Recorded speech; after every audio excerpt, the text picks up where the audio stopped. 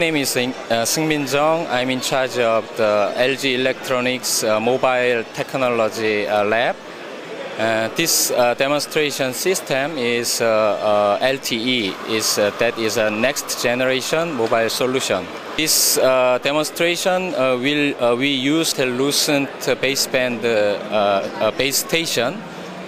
this LTE system is higher support higher data rate five or nine times uh, compared than 3G system.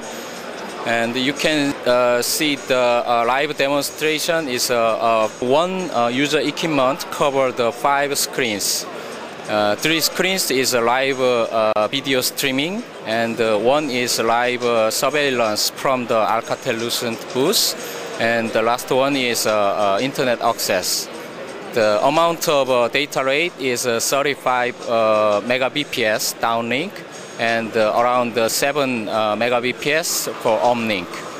Uh, it will be made one chip solution end of this year and the commercial the system will reach it next or 2010 years. Yeah, thank you.